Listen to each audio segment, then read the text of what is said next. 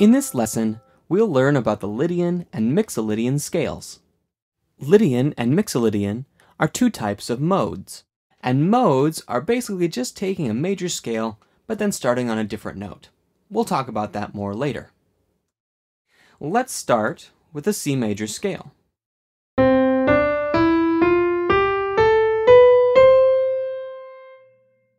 To build a Lydian scale, all you need to do is raise the fourth note by one half step. Let's give this a listen.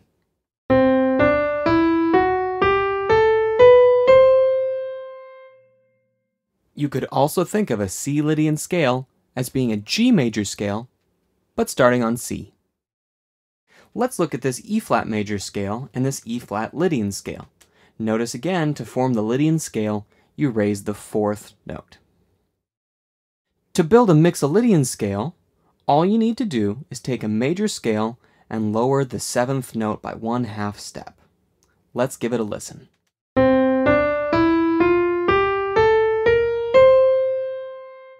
You could also think of this as an F major scale, but starting from C. Let's take a look at this A major and A Mixolydian scale.